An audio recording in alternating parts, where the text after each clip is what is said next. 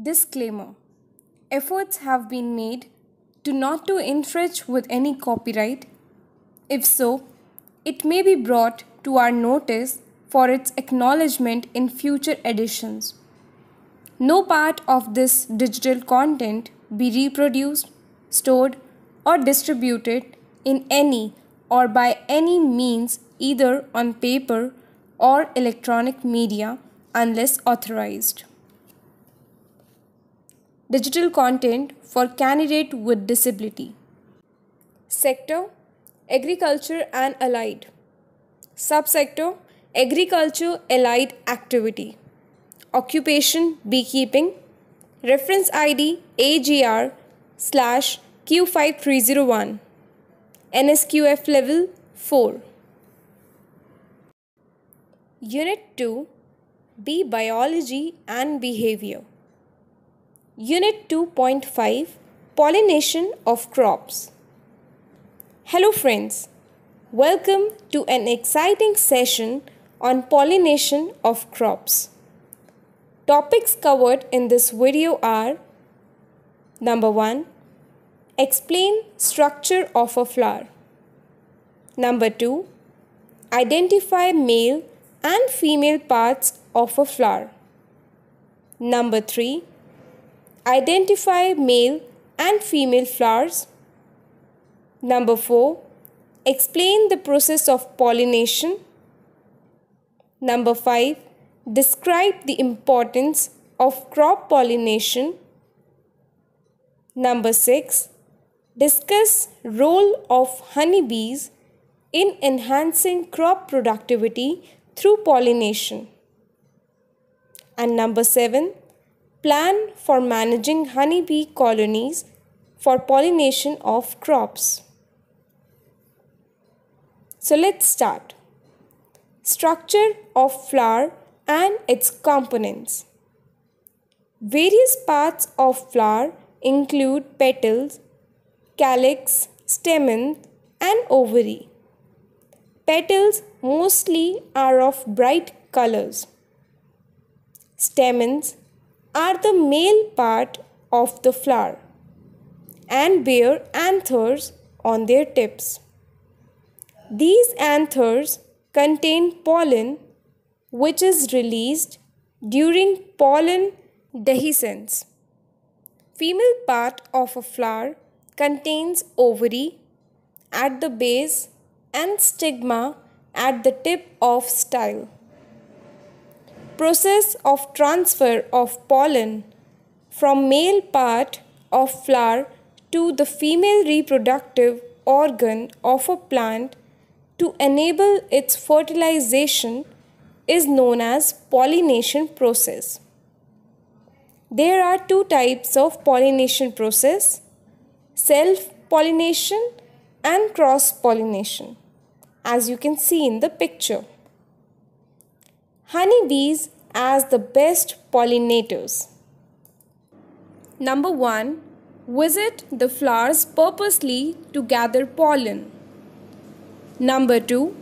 High floral constancy. Number 3. Profusely hairy body. Number 4. Easily amenable. Number 5 non-pest of crops. Number 6. Bee pollination enhances maturity, yield and quality of produce. Number 7. Require least manual labor. And number 8. Honeybees also provide other useful products. Management of honeybee colonies for crop pollination. The efficiency of honeybee as pollinators can further be augmented by adopting following planned bee pollination practices. Number 1 Provision of space provides sufficient number of empty combs to cope up with increased brood rearing and honey and pollen stores. This will encourage bees to rear more brood and thereby foraging by bees. Number 2. Prepare colonies for pollination service.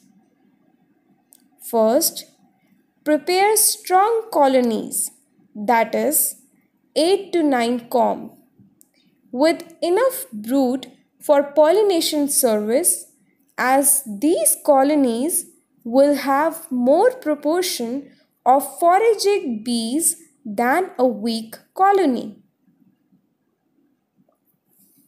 Second, provide sufficient unsealed brood to create more demand for pollen within the colonies. Third, maintain higher brood. bee ratio to stimulates greater proportion of foragers. Fourth, ensure young prolific queen in the colonies in order to have more numbers of eggs daily which in turn will improve brood rearing. It is always advisable to use slightly more number of honey bee colonies than estimated one. Generally, 2 to 5 colonies for horticultural crops except 6 to 5 for apple pollination and 5 colonies for alfalfa that is Medicago sativa are recommended. Number 3. Moving colonies to the crop. First, extract honey before moving colonies to the target crop. Second, move colonies when crop has initiated 10 to 25% blooming to attract more foragers on the target crop. Third, move colonies to the crop at night so that bees mark their hives afresh in the next morning and find flowers loaded with reward. Fourth, save colonies from heating up. Fifth, don't move for more than 48 hours at a stretch. Sixth, take measure to check drifting at new site. Number 4. Number of colonies required. It depends on the following. First, pollination requirement of the crop. Second, target area. Third, as per attractiveness of the crop to honeybees, the number of colonies required may vary. Fourth, consider competing crops in the area so that suitable measures may be taken accordingly. Fifth, competing insect pollinators.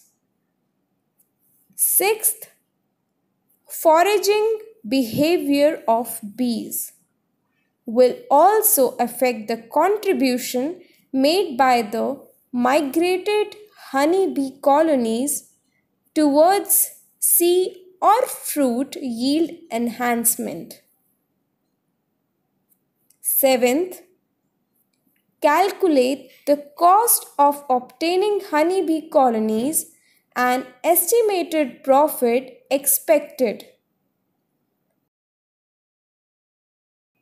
It is always advisable to use slightly more number of honeybee colonies than estimated one. Generally, 2 to 5 colonies for horticultural crops, except 6 to 8 for apple pollination, and 5 colonies for alfalfa are recommended. Number 5. Placement of honeybee colonies. Place the colonies near the crop. It results in more number of trips of the pollinating bee per unit time. Distribution of honey bee colonies in the target crop depends on the following. A. Nectar, pollen available per unit area. B. Weather conditions and physical features of area. C. Place colonies singly or in groups separated by appropriate distances. Example, one colony by 0.4 hectare for apple or 5 colonies in the center of 2 hectare orchard. D. Bees should fly out against the wind and return in the direction of wind. Number 6.